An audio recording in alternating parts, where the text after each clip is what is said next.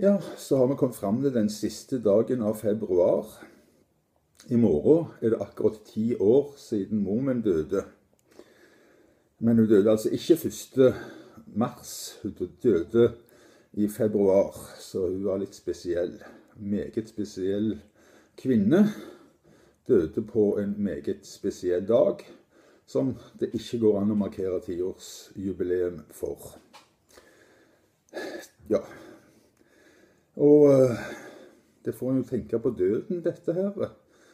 Og eh, nå er det ikke sånn at Paco er direkte døden nær ennå, men eh, kona Josefa var innom i går og fortalte siste nytt.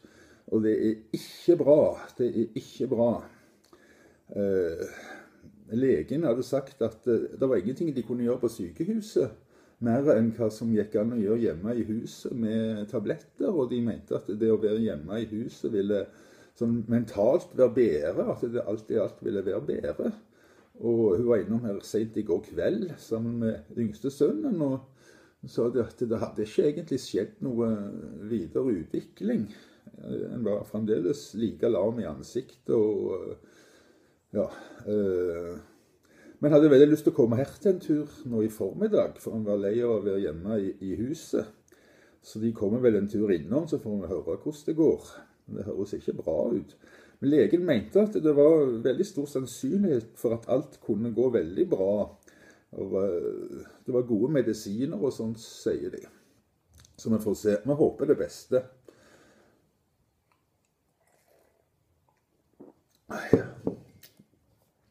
Ja, selv om jeg er ateist, så får jeg vel ta meg en tur i en kirke og tenne et lys i dag. Jeg gjør det ikke for min del, jeg gjør det for min mors del. Ja, det er ganske trist, dette her. Det, det. Litt lysere ting så holder jeg da på å spille en gamle ETV-opptak til PC-en og laste de opp på nettet. Da lastet de opp tar forferdelig lang tid. Og i natt så saboterte Windows meg til og med. De resatte maskinen min. De installerte oppdateringer til tross for at jeg har sagt at jeg ikke skal gjøre det. At jeg skal velge det sjøl. Så hadde de sagt det var så kritisk, og dette gjorde vi uansett hva du ville.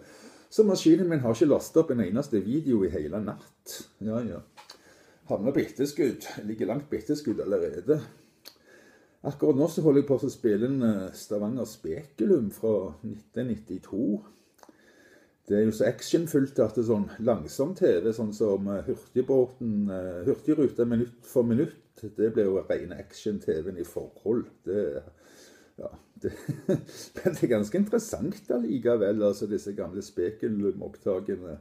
Sissel Ekeberg og Gjert Meling og ja, Det er ganske sinnssykt mye av det. Men det er bra. Og så kommer det en god del andre ting òg, da. Både gode og dårlige programmer. Mye dårlige. Vet, eh, vi hadde så lite penger når vi lagde programmet at vi fikk aldri lagd det helt sånn som vi ville. da. Men jeg syns at TV Vest de var vanvittig flinke. De hadde så mye utstyr, de hadde så mye folk, de hadde så mye ressurser.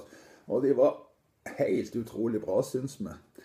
Så nå, nå 20 år etterpå sitter og ser igjennom en del av de programmene, så må jeg si at eh, jeg lurer på hvorfor vi syns det. TV Vest var egentlig vanvittig dårlige. Eh, ja, dårlige fotografer, dårlige redigerere, dårlig på lyssetting, men ikke minst det verbale. Det var veldig dårlig. Med noen få unntak. De hadde jo noen medarbeidere som var litt bedre enn andre òg, En del av de jobber hos TV 2 i dag, da. Men jevnt over så var det på et forferdelig lavt nivå. Men det tror jeg ikke vi oppdaget den gangen. For at uh, både Kanal 1 de var jo håpløst dårlige. Duen-TV var jo bare rett og slett en vits. Bare søk etter noen programmer av Duen-TV, så kommer dere og ler dere i hjel at det virkelig har blitt sendt på TV. Og så var jo vi da sånn uh, midt imellom. Altså vi var veldig kulturelt bevisste, men hadde ikke penger. Og uh, ja, det hendte ofte at vi når vi var på Hå gamle prestegård, så lurte vi på kommer vi hjem nå. Er det nok bensin til at vi kommer hjem.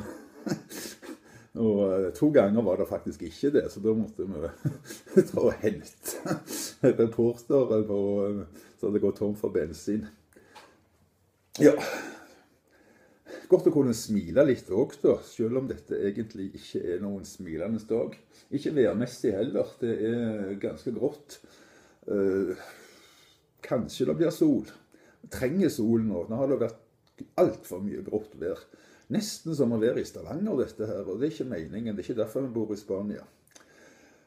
Nei, vi får håpe på det beste.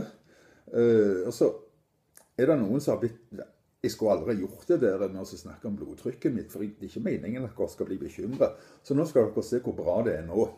Så uh, ikke bekymre dere. Jeg skal bekymre meg, ikke dere.